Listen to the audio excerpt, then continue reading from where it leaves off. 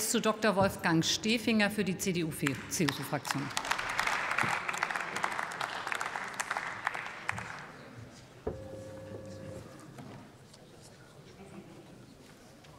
Sehr geehrte Frau Präsidentin, liebe Kolleginnen und Kollegen! Der russische Angriff auf die Ukraine hat unzählige Menschenleben gekostet und Not und Elend über die Ukraine gebracht. Der Krieg hat weite Teile des Landes hart getroffen und auch die Wirtschaft hart getroffen. Die Wirtschaftsleistung ist in den vergangenen Monaten um fast ein Drittel gesunken.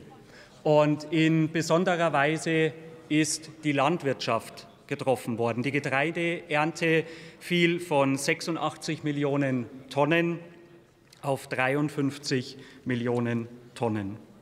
Die Auswirkungen, liebe Kolleginnen und Kollegen, sind weltweit sichtbar und sind regelmäßig auch Thema bei uns im Ausschuss. Liebe Kolleginnen und Kollegen, das Vereinigte Königreich hat nächste Woche gemeinsam mit der Ukraine zu einer internationalen Wiederaufbaukonferenz eingeladen.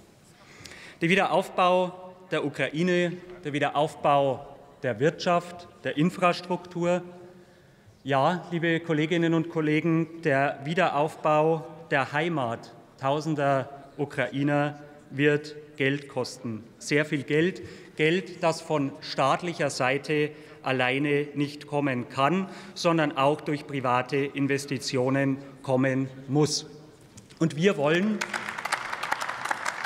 wir wollen mit unserem Antrag liebe Kolleginnen und Kollegen der Deutschen Investitions- und Entwicklungsgesellschaft DEG ermöglichen, ihr Auslandsgeschäft in der Ukraine zu verstärken und fordern deshalb die Bundesregierung auf, Wege zu finden, dies zügig zu ermöglichen. Und liebe Kollegin Türk-Nachbauer, das ist eben genau nicht in der Mache, weil sonst hätte es den Antrag von uns heute auch nicht gebraucht. Und deswegen fordern wir, dass dies zügig passiert und fordern vor allem, dass diese Bundesregierung nicht wieder zaudert und zögert wie in den vergangenen Monaten.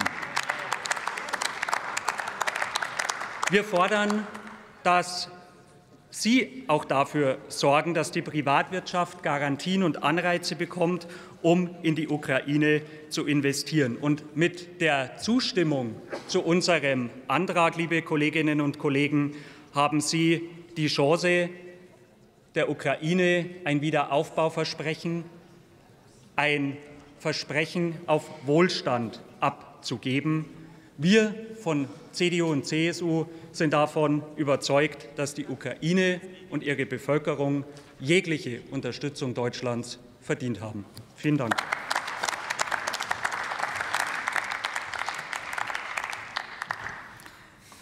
Und jetzt erhält das Wort der fraktionslose Abgeordnete